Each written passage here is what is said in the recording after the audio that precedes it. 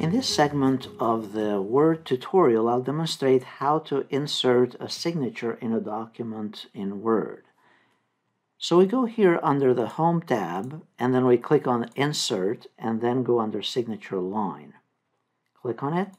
Now the first time you run it, you may be prompted to enable the Microsoft Signature tools and just proceed with anything positive for it. That's because at one point in the past I had clicked to enable it. Now here you simply put in the information that you want, the email address if necessary and so on, and then you can allow also the signer to add comments in the dialog box as well. So typically you might want to fill out these and then you click OK. Then it'll add a signature line very similar to this. At this point, the person signing the signature or signing this document will be needing to double click on it and then type their name.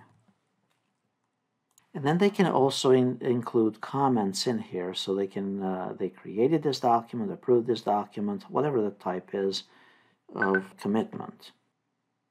Then you can have additional comments added in here and then click on sign.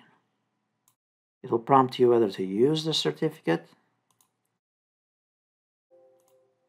And there you go. So it puts some additional properties behind the scenes and it kind of connects with Microsoft Digital ID services to make this supposedly legit.